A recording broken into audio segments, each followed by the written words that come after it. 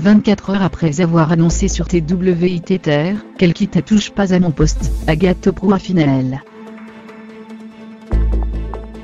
24 heures après avoir annoncé sur tweet et elle quitte touche pas à mon poste, Agathe Pro a finalement révélé hier soir en direct sur C8 que tout ceci est Nersko, était Kullersko, un buse.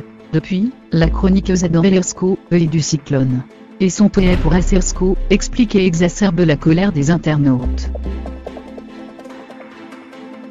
Elako, les amis. JRSCO, ait pris la décision de quitter Touche pas à mon poste. Je vous en dis plus très vite. Un grand merci aux équipes pour ces 8 mois exceptionnels. Erako, les fans de TPMP étaient très surpris à la lecture de ce tweet d'Ersco, Agathe Pro publié mardi soir aux alentours de 23h.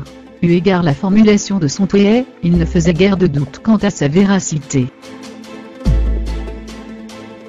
Pourtant, Hélène Ersko en était rien, c'est quelques signes sur le réseau social de la chroniqueuse de C8, est à juste destiné à faire le buzz avant le prime time de C8 diffusé hier soir 20 décembre.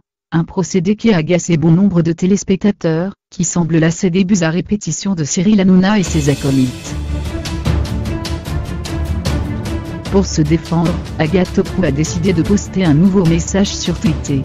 Et co, le plus fou c'est qu'il y aura sans doute beaucoup plus d'articles sur le pauvre toit d'une chroniqueuse, repris sans vérification, avec toutes les extrapolations possibles, que sur le fait que Cyril Hanouna, vient d'offrir un toit à une famille en détresse et dans la difficulté, a-t-elle écrit avant de l'effacer il y a quelques minutes une publication qui Enersco a pas été du tout du goût de nombreux médias visés par son post. Citons parmi des autres, nos confrères de Pure Media qui ont tenu à mettre les choses au clair. Et co, comment peut-on balancer une fake news, refuser de la démentir auprès de tous les médias qui ont fait leur travail, et chercher à en savoir plus, puis critiquer ces mêmes médias pour avoir osé, scandale, supposer qu'elle ne mentait pas?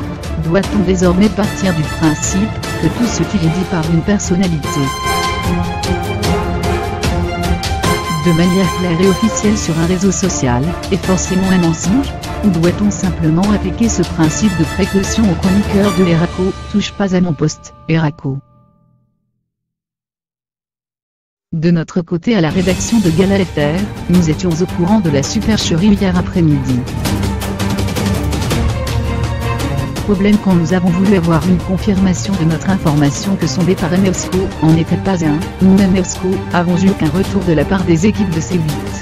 Ces dernières ne voulaient évidemment pas communiquer sur le sujet, de peur que leur bus tombe à l'Ersco. Oh. Si ce matin c'est peut se réjouir de ses audiences, 1.15 millions de téléspectateurs, soit 4.8% de Velersko, ensemble du public, entre 20h55 et 22h55, Agathe pourrait-elle, pour son image, être amenée à regretter Deersko, à voir.